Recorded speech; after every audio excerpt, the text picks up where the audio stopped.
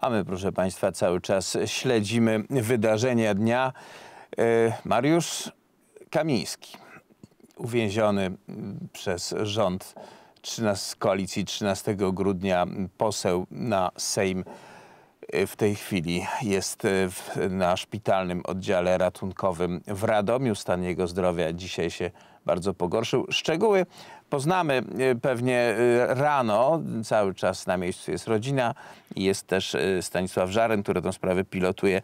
Naszymi rozmówcami w tej części będą panowie Robert Bąkiewicz, szef mediów narodowych i Paweł Piekarczyk. Witam panów bardzo serdecznie. Dobry wieczór. Dobry, Dobry wieczór. Zacznijmy może od takiej aktualizacji najnowszego materiału, jaki przesłał nam e, pan Stanisław Żaryn. W związku z gwałtownym pogorszeniem się stanu zdrowia minister Mariusz Kamiński został dzisiaj przewieziony do szpitala w Radomiu. Trwają badania lekarskie, rodzina czeka na szczegółowe informacje o stanie zdrowia pana ministra Mariusza Kamińskiego, ale wiemy, że sytuacja była poważna i zaniepokoiła lekarzy. Czekamy na dalsze działania ministra Adama Bodnara, bo jak widać sytuacja, w której stosuje on obstrukcję, w której nie przekazuje swojego stanowiska i akt sprawy do pana prezydenta zagraża realnie zdrowiu i życiu ministra Mariusza Kamińskiego i ministra Macieja Wąsika.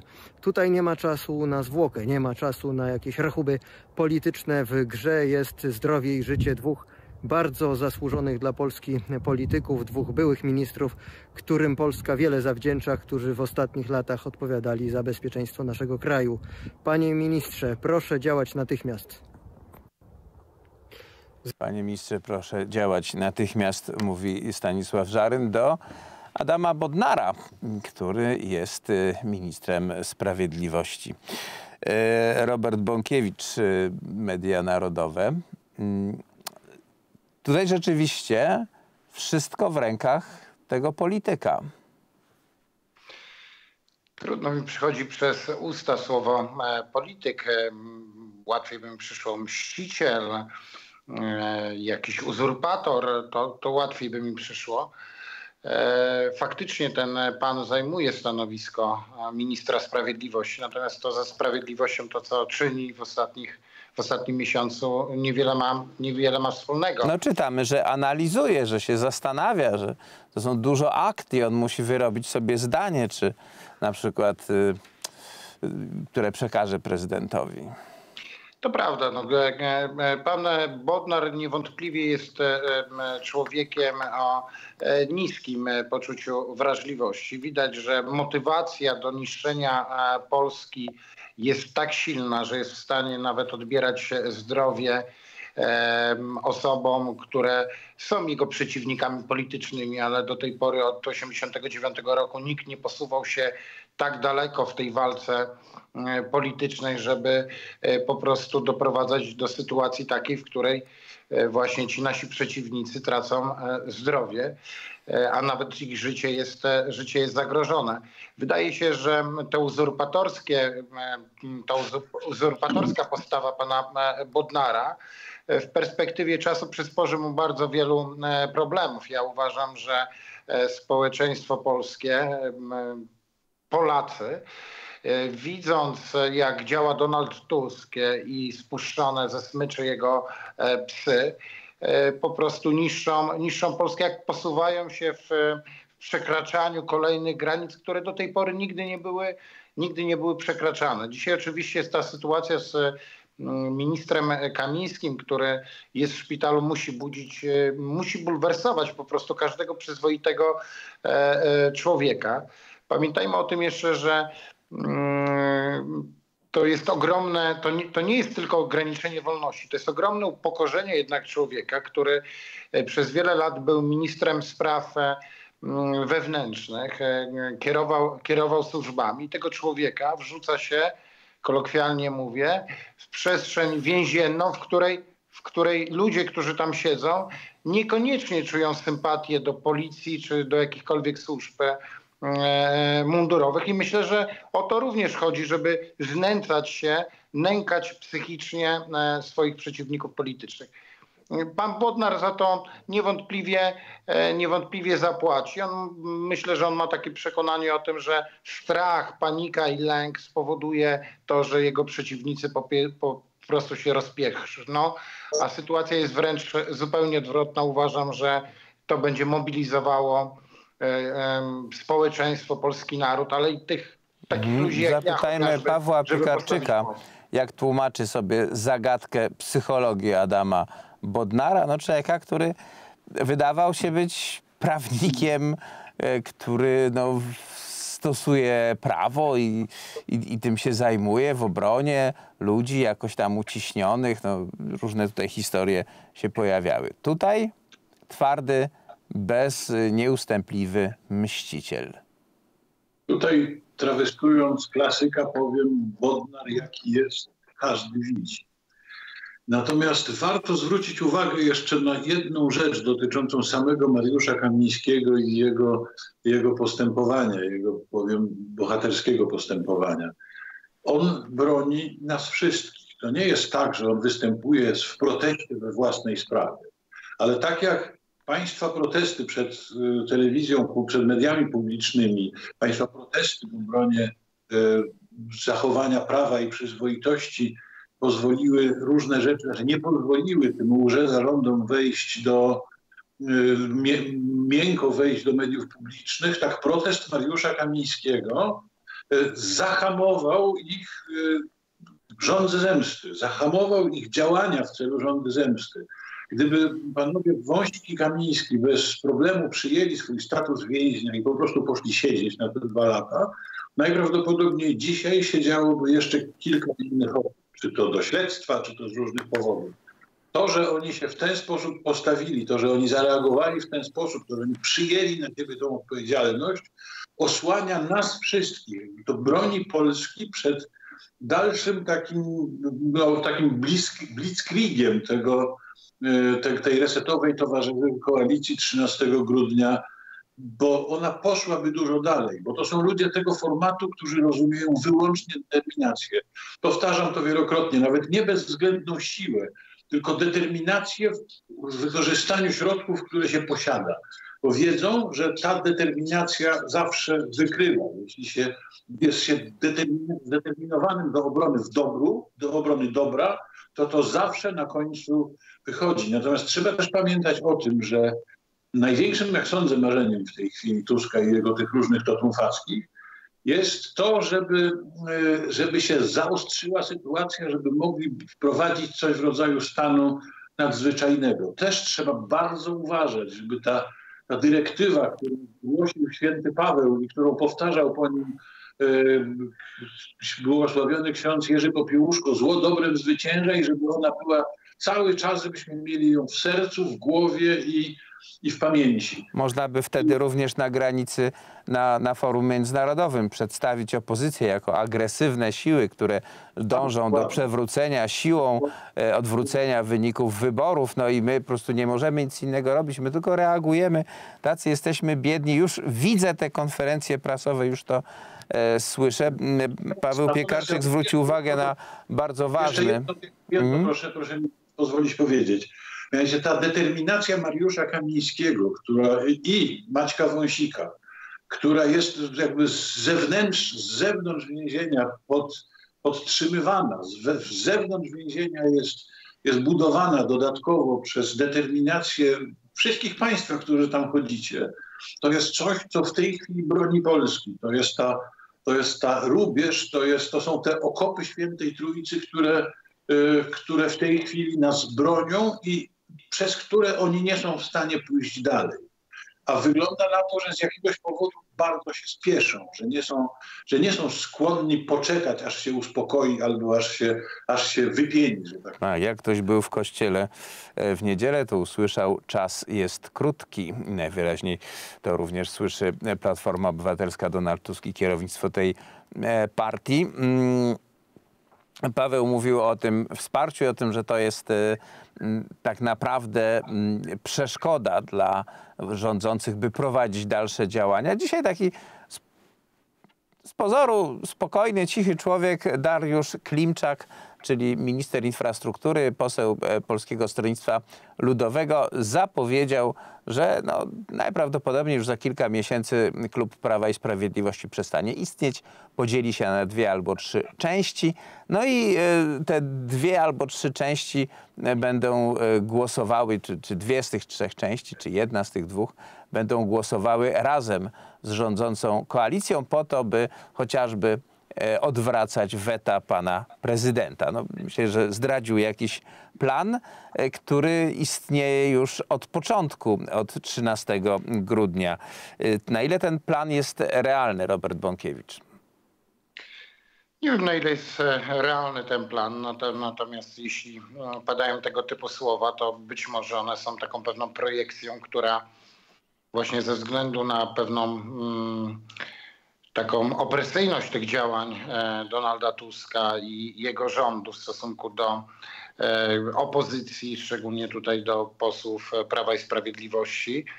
E, chcą wywoł chce wywoływać pewien lęk i chce wzmacniać rysy, które no oczywiście w tak dużej partii jak Prawo i Sprawiedliwość zawsze są, no bo zawsze istnieją pewne grupy, które w środku nawet w jednej partii się ze, z sobą wspierają. E, natomiast no, trudno mi jest e, sobie w tej chwili wyobrazić, że tak faktycznie e, skutecznie taki proceder. No co, za obietnicę was będzie... nie będziemy wsadzać, tylko wyjdźcie z tego, od tego kaczora. No, Polska jest jedna, prawda? No, całe, Chciałem, cała koalicja obywatelska jest pełna ludzi, którzy odgrywali ważne role w Prawie i Sprawiedliwości. Już tutaj nazwisk nawet nie będziemy przytaczać, ale Paweł Kowal, Roman... prawda, pan Zalewski. Roman Giertych już e, próbował e, niuansować swój przekaz w taki sposób, że e, mówił o tym, tłumacząc na polski, że ci wszyscy, którzy będą donosili na swoich kolegów, no mogą się liczyć z takim bardzo delikatnym obejściem. Czyli najpierw straszymy, najpierw wywołujemy lęk, a potem szukamy tych, którzy będą rozłamowcami, którzy będą donosili na swoich, e, na swoich kolegów po to, żeby ich, e, żeby ich łatwiej było zniszczyć. A tą ceną, tym, tym, tym poświęceniem będą sobie gwarantowali po prostu własne mm, bezpieczeństwo. Natomiast pamiętajmy o tym, że dzisiaj tak bardzo przesunięty ten mm, biegun tej agresywnej polityki Donalda Tuska może wywołać zupełnie odwrotny skutek. Tutaj e, pan Paweł Piekarczyk mówił o tym, że e, minister Kamiński i minister Wąsik no, bronią e, Polski, ale dają też nam dobry przykład, nam Polakom, bo ten opór te stawiany, stawiany w, w ten sposób, który mogą dzisiaj stawiać, czyli poprzez głodówkę, musi niewątpliwie utrudniać prowadzenie polityki, skutecznej polityki e, w rozumieniu Donalda Tuska. Czyli ta skuteczna polityka to jest wrzucanie kolejnych osób do, e, do więzienia, stawianie zarzutów, przejmowanie e, niedemokratyczne czy bezprawne kolejnych instytucji państwa polskiego, sądownictwa, tutaj KRS-u, Sądu Najwyższego, Narodowego Banku Polskiego zapewne. Przecież takie zapowiedzi już z ust polityków. Pojawiły e, się w gazetach spekulacje, że tutaj Adam Glapiński może zachwiać kursem złotówki i trzeba go jak najszybciej usunąć, bo co to będzie? Oczywista bzdura, ja tylko, nie? Ja tylko, ja tylko chciałem powiedzieć, że tak naprawdę za tym wszystkim kryje się e, i to chyba nasi widzowie powinni zrozumieć i z takim przesłaniem powinniśmy iść nawet do tych, którzy głosowali wcześniej na Donalda Tuska, czy y, chociażby Trzecią Drogę, a może nawet na E, lewicę, że za tym wszystkim kryje się demontaż i niszczenie państwa polskiego. My dzisiaj zdajemy sobie sprawę z tego, że walczymy o wszystko. O wszystko, to znaczy, że walczymy o własną niepodległą e, ojczyznę. Donald Tusk i mm, jego zachowanie i akceptacja całego Zachodu na e, antydemokratyczne działania biorą się stąd, że Niemcy dzisiaj mają w Unii Europejskiej czy w Europie e, przyjąć ten taki przyjąć przewodnictwo, podporządkowując między innymi Polskę pod swoje własne e, interesy. Ale żeby to zrobić, trzeba odebrać nam po prostu wszystkie atrybuty niepodległego państwa. To jest politykę zagraniczną, czyli oni będą prowadzili za nas politykę zagraniczną, oni będą E, prowadzili za nas politykę bezpieczeństwa czy wojskowości szerzej rozumianą. Oni będą myśleli o tym, w jaki sposób energetycznie nas Polaków zabezpieczyć. A jak to będą robili, to my już wiemy, bo e, doświadczyliśmy tego przez tysiąc lat e, i nie możemy się spodziewać niczego dobrego. Dlatego dzisiaj rząd Donalda Tuska chce likwidować czy atakuje najbardziej strategiczne inwestycje, które były podjęte przez poprzedni rząd, czyli to jest budowa centralnego portu komunikacyjnego, e, budowa elektrowni jądrowej, e, budowa e, portu kontenerowego w Świnoujściu, udrożnienie mm, Odry, dokonanie ją, żeby była spławna i żeby można było tamtędy transportować ogromne ilości surowców, materiałów, żeby Polska mogła się wspaniale rozwijać. Blokowany jest rozwój portu w Gdyni. To dzisiaj Donald Tusk robi w mojej ocenie na zlecenie Niemiec. I ta tragedia e, ministra Wąsika, ministra e, Kamińskiego jest e, niestety też również zasłoną dymną przed likwidacją czy odbieraniem Polsce tych kompetencji niepodległego, niepodległego państwa. I dlatego dzisiaj powinniśmy iść do Polaków i tłumaczyć im, na czym tak naprawdę ta polityka. E, no właśnie, my się tym zajmujemy w telewizji Republika. No i tak naprawdę nie zostało tak wiele mediów, które mówią prawdę, które pokazują naświetlenie z innego punktu niż e, pokazuje to rządowa propaganda. No jak ta propaganda działa, Państwo oczywiście doskonale widzicie na przykładach innych e, telewizji. Jedna z nich jest, e, ma troszkę większe zasięgi, ogromna większość mniejsze. E, państwu zawdzięczamy ogromny wzrost naszych zasięgów, ale też uważamy, że Państwo jesteście takimi naszymi inwestorami prosimy Państwa o zainwestowanie w wolne słowo, po to byśmy wszyscy przetrwali ten zły czas, byśmy mogli e, dalej e, nie tylko się informować o tym, co się dzieje, organizować, jakoś e, porozumiewać, ale być może już niedługo wrócić do tych prorozwojowych programów dla Polski. Macie Państwo numer konta, na który prosimy o wpłaty i najlepiej, żeby to były wpłaty stałe, no niewielkie, jakieś 50 zł miesięcznie, może nie zbiedniejemy od tego, ale pomoże to nam planować nasze inwestycje, bo to są ogromne kwoty. Potrzebowanie jest wielkie. Chcemy, żeby Telewizja Republika dotarła do każdego domu w Polsce. Chcemy, żeby była stacją, której jakość sygnału, jakość pracy jest taka, by Państwa to satysfakcjonowało, że oto dostajecie telewizję, która no, informuje Was o świecie jak najgłębiej, jak najciekawiej pod różnymi kątami, no tak jak to potrafimy. No, a druga rzecz, my zależymy od państwa, nie zależymy mm, tylko od naszych reklamodawców, nie realizujemy ich interesów komercyjnych, ale państwa interesy, mam nadzieję, patriotyczne, państwa interesy e, informacyjne. Więc bądźcie z nami, wspierajcie nas. Jeszcze e, Paweł e, Piekarczyk na sam koniec tego wystąpienia teraz Pawle, e, ta, ten blitzkrieg miał być krótki, bo to miało trwać kilka dni w ciągu świąt i po świętach miała być już sielanka kumbaya w stylu 2014-2015 roku. Najwyraźniej się nie udało. A może właśnie ten terror jest e, celowy teraz pobudzany, żebyśmy się zaczęli bać, że to wszystko jest na poważnie. Oczywiście, oczywiście, że to jest robione po to, żebyśmy się, żebyśmy się zaczęli bać. E, I myśmy z Ligą Republikańską 20 parę lat temu, prawie 30 lat temu, e, zaczęli, byliśmy pierwszą taką organizacją, która odwołała się do e, mitu, do, do takiego mitu założycielskiego patriotycznej Polski, czyli do żołnierzy wyklętych.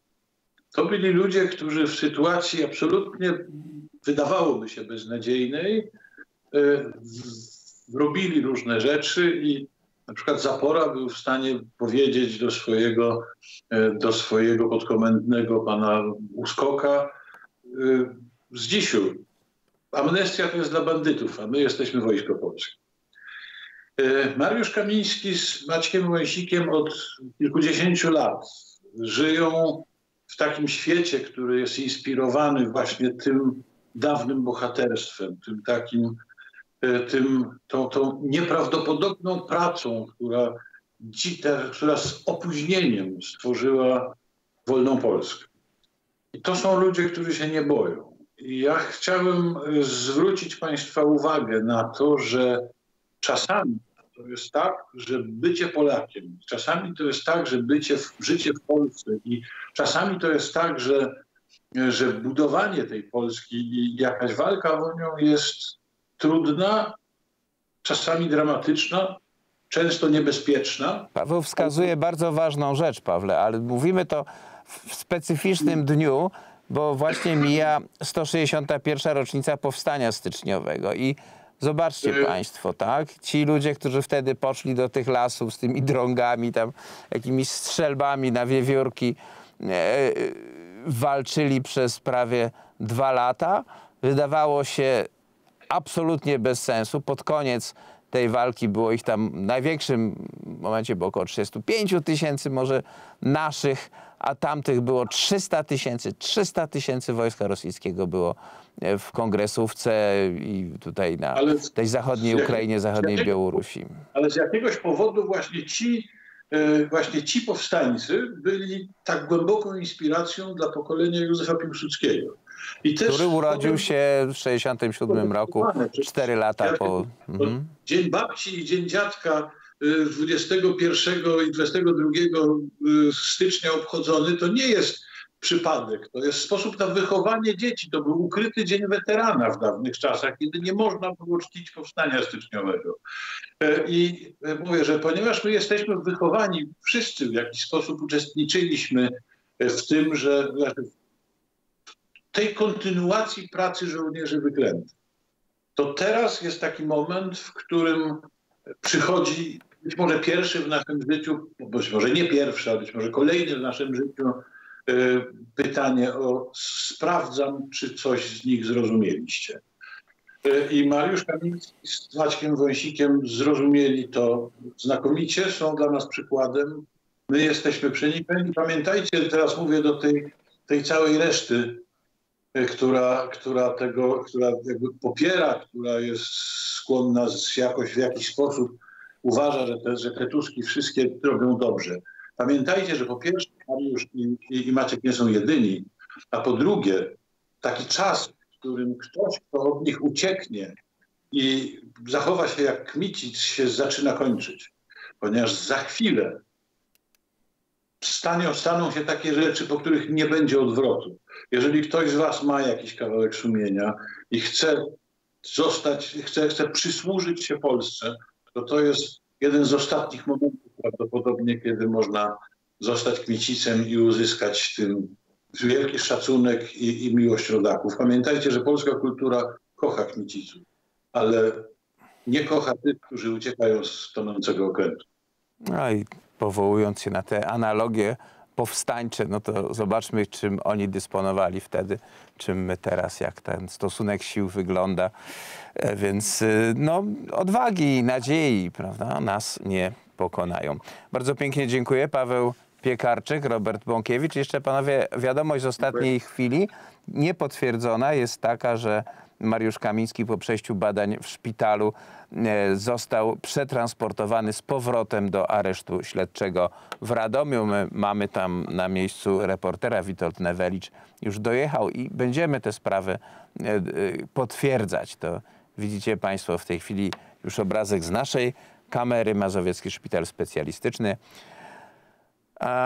I nowa aktualizacja jest taka, że w tym budynku według tych najnowszych informacji Mariusza Kamińskiego już nie ma i e, wrócił on do e, więzienia. Jaki jest jego stan zdrowia, jak to wszystko wygląda, będziemy to ustalać. To jest również wiadomość do e, obsługi więzienia, to jest również wiadomość do lekarzy więziennych, sanitariuszy, ale też funkcjonariuszy więziennych. My doceniamy, że Państwo wykonujecie swoją pracę, rozumiemy, no, praca jest praca, ale prosimy, byście tutaj potraktowali tego konkretnego więźnia no, z takim ludzkim współczuciem, bo w naszej opinii człowiek jest niewinny, a po drugie w opinii wielu prawników nadal jest posłem niesłusznie pozbawionym mandatu i immunitetu i jego miejsce i jego praca jest w Sejmie.